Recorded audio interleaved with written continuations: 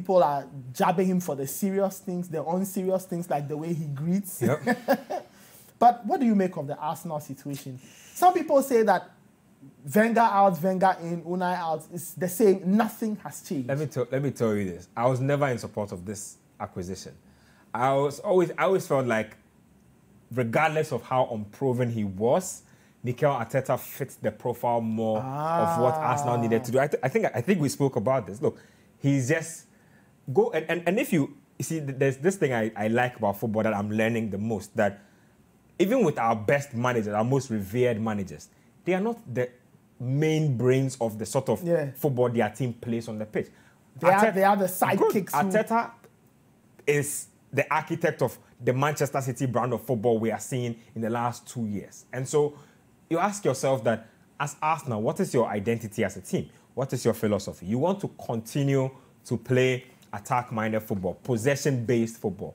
What is Unai Emery's philosophy? What is his identity? Now, one thing I think got Unai Emery's Arsenal job are his Sevilla Europa League trophies.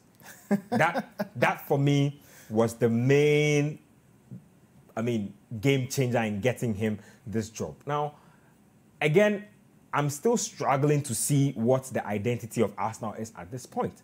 I still can't tell if Arsenal are a defensive-minded side, if they are an offense. That, that's that's always the first point of contention. And you see, when it comes to training professional athletes, there is nothing that disgruntles professional athletes more than one, a coach that doesn't have a plan or doesn't seem to have a plan.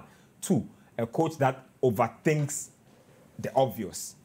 And three, a guy that cannot face responsibility in front of everybody. That's the problem. now look at Unai Emery's history from back in Valencia. His Valencia team was all over the place. It was as indisciplined as you can find. Go back to his Sevilla team as well. Gary Medel, all over the place all the time. But he, he will argue and say he won three straight Europa League titles. he did, but that's a more tailored competition. And we, we all know the dynamics of a tailored competition like the cup competition and the dynamics of a marathon competition like a league. If I, if I, if I, from how I look at it, Arsenal, if they were looking to replace Wenger, should have gone elite. Unai Emery is not an elite coach. If you were not going to go elite, then you were going to have to go with guys like, like I'm saying, Arteta. a guy like Mikel Arteta. So if you are not getting a Poch or a Mourinho or somebody in that mode, an Ancelotti, you are getting a Mikel Arteta, maybe a Thomas Tuchel, somebody in that mode. But Unai Emery for me really isn't that guy. And what makes the situation even more dire is that you look at the sort of transfer business that Arsenal did. We're all here hailing Arsenal for doing the best piece of transfer business. But that business has just not come together. Why? Because a host of those players have just not been able to play together. Kieran Tierney obviously has shown signs that he's brilliant. Every now and then he's on the bench. Gabriel Martinelli shows lots of potential. But you see, a youngster showing potential does not mean that he should be starting ahead of a, pro, a proven player.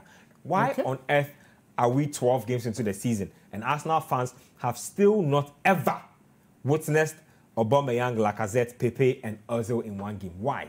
Why? I mean, do, they, people- do they have to beg for it Some now? people can argue and say that that leaves Arsenal too bare and too exposed I don't, in really. I don't really think so. Look, you can play an Aubameyang, Lacazette, Pepe, and Ozil, and, and play with two anchor men.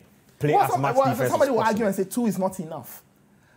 depends on how you want to look at it, depends on how you want to play. But again, you need to put your best hand forward. I don't understand this bit where you have a big game, you are expecting a top level striker that a, a top level striker whose name and reputation alone confuses defenders is on the bench. It just it just makes your opponent's work a lot easier as a manager. And he, he doesn't do himself any good with all these things that are happening. Now, Granit Xhaka has been stripped of his captaincy so- it has been given to somebody else. At the end of the day, look, if you ask me, I think Unai Emery is walking a very tightrope. He's walking towards losing at the Arsenal Yeah. dressing room because if to be honest, there are no big egos in this Arsenal dressing room. And, that, and see, that's the, that's the worrying problem. This Arsenal dressing room is wishy-washy. There are no there are no big egos in there. They are they are easygoing players. If you cannot take charge of this Arsenal dressing room and march them towards a top four title, there's nothing you can do for me as a manager. You can win all the Europa Leagues in the world, but don't even forget that the Europa League is a second tier trophy.